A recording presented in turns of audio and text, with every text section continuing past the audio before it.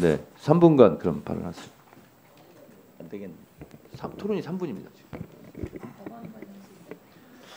법무장관. 예.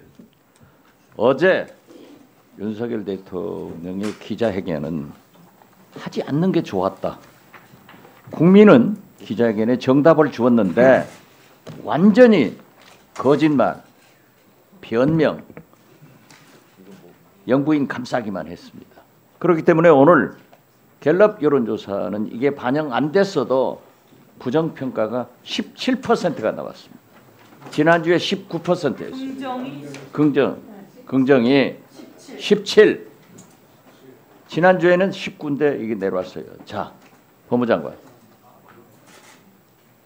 당신이 특검으로 박근혜 대통령을 구속, 기소한 검사가 영부인의 특검은 삼권 분립 위반이고 헌법 위반이고 잘못입니까?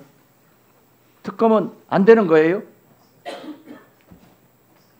특검이 안 된다는 게 아니고 이- 아니 대통령께서 그렇게 얘기했잖아요. 저희들이 그 주장한 내용이 있지 않습니까? 어떤 부분이 문제가 된다는 부분을 정부에서 여러 번 말씀을 드렸는데 그 부분이 하나도 실행이.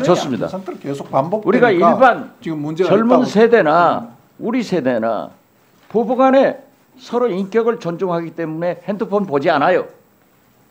오빠 대통령이 자는데 김건희 여사는 새벽 4시 5시까지 오빠 핸드폰 꺼내가지고 답장하는 것이 옳은 영부인이에요? 법원 행정처장 예. 디도스 공격 받았죠. 아 예. 예? 최근에 받았. 지금 군도 받고 예. 난리가 났는데 예. 제가 예. 뉴욕타임스의 안보 전문 기자 데이비드 생어가 21세기는 사이버 전쟁이다. 그래서 우리가 대비해야 된다. 하는데 대법원은 계속 받고 있습니다. 지금 해킹은요. 데이비 생어가 얘기한 대로 북한, 중국, 러시아가 제일 잘하지만은 더 잘하는 나라가 우리나라예요. 미국이에요. 이스라엘이에요. 그런데 이 방어를 이렇게 뚫려 가지고 되겠습니까?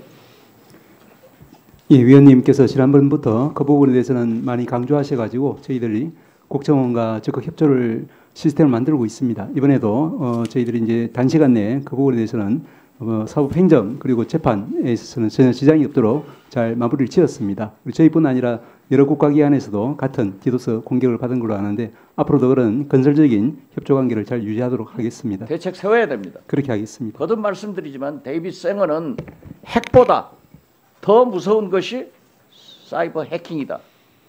국가가 마비됩니다. 법무부 장관. 예. 이 문제에 대해서 잘 불식을 세우고 검찰이 이런 일을 해줘야 돼요. 예. 무슨 말씀인지 알겠어요? 예. 위원님 말씀 뭐 명심하고 저희들이 그런 부분에 관심을 갖도록 하겠습니다. 네. 박지원 의원님 아주 적절한 질문을 잘 해주셨다고 생각합니다. 박성재 장관님과 천대엽 처장님 두 분은 남아 계시고 다른 기관장님들은 이석하셔도 되겠습니다. 수고하셨습니다.